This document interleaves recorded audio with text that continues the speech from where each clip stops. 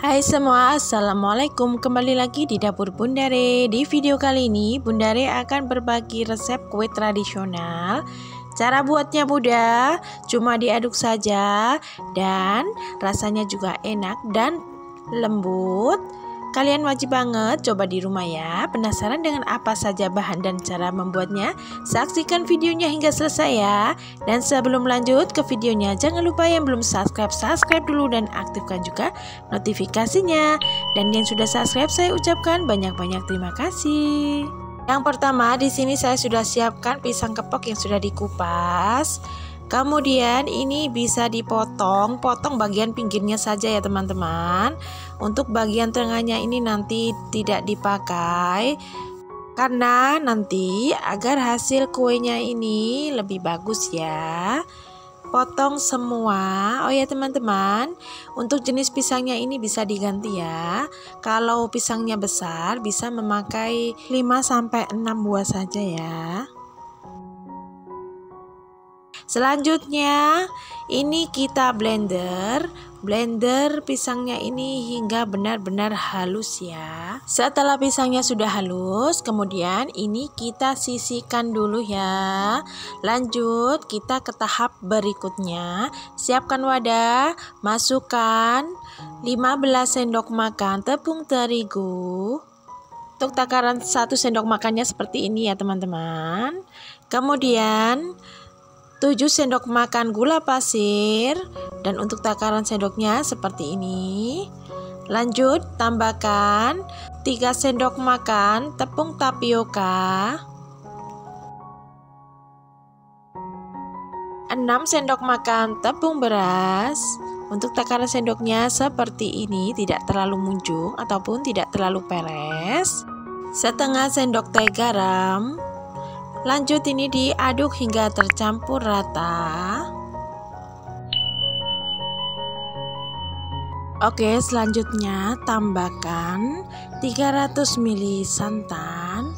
Untuk kekentalannya ini kekentalan sedang ya. Sambil diaduk hingga bahannya larut ya teman-teman. Setelah larut dan tercampur rata, masukkan pisangnya tadi yang sudah di blender. Oh ya teman-teman sambil nonton yang belum subscribe atau yang baru menemukan channel YouTube ini, jangan lupa di subscribe dulu ya dan aktifkan notifikasinya. Terima kasih. Lanjut ini diaduk hingga benar-benar tercampur rata ya teman-teman. Pastikan tidak ada pisang yang menggumpal.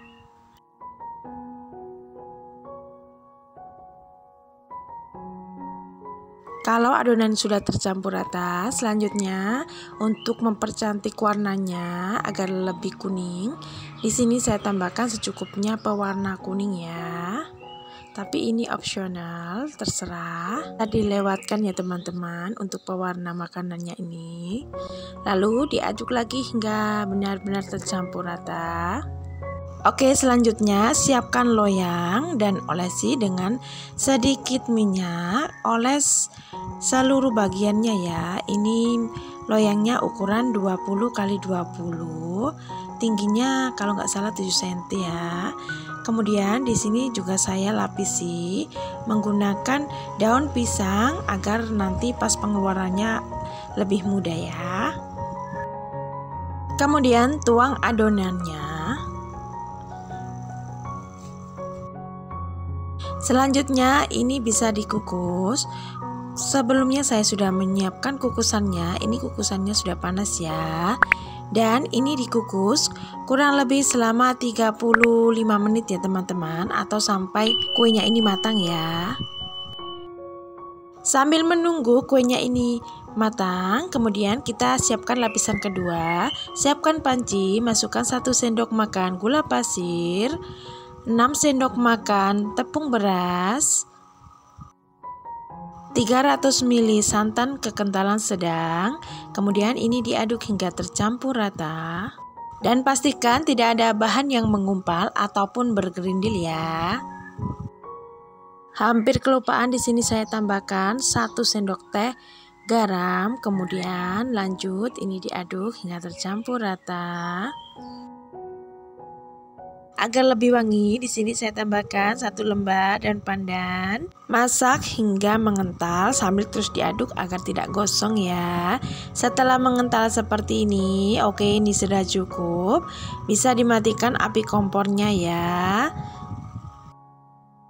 Dan adonan pertamanya ini sudah matang. Kemudian bisa ditimpa dengan adonan putihnya tadi ya teman-teman.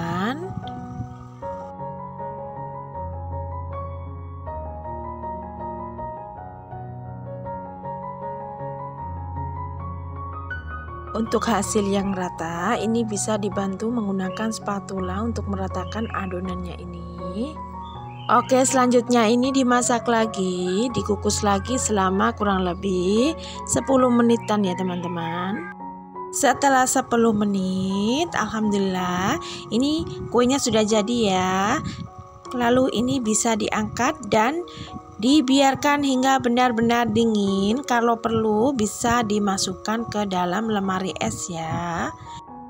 Pastikan kuenya ini benar-benar sudah dingin ya teman-teman agar lebih mudah untuk mengeluarkannya dari loyang karena semakin dingin kue ini akan semakin mudah untuk dikeluarkan dari loyang dan akan lebih mudah untuk dipotong ya sebelum dikeluarkan dari loyang ini pinggirannya bisa disisir terlebih dahulu bisa menggunakan bantuan pisau ataupun spatula ya Lanjut ini bisa dipotong, potong sesuai selera ya teman-teman.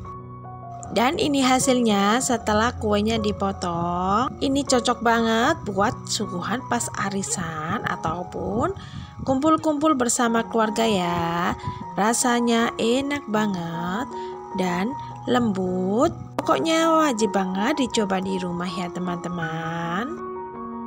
Oh ya teman-teman, sebelum kue ini dikeluarkan dari loyang, pastikan kue ini sudah benar-benar dingin ya. Karena semakin dingin, kue ini akan semakin keras. Maksudnya nggak lembek lagi. Kalau kalian suka dengan video ini, bisa di like. Kalau menurut kalian bermanfaat, bisa di share sebanyak-banyaknya. Dan terima kasih yang sudah mendukung channel ini. Oke, cukup sekian video kali ini. Semoga bermanfaat dan selamat mencoba. Sampai jumpa di video-video selanjutnya. Wassalamualaikum warahmatullahi wabarakatuh.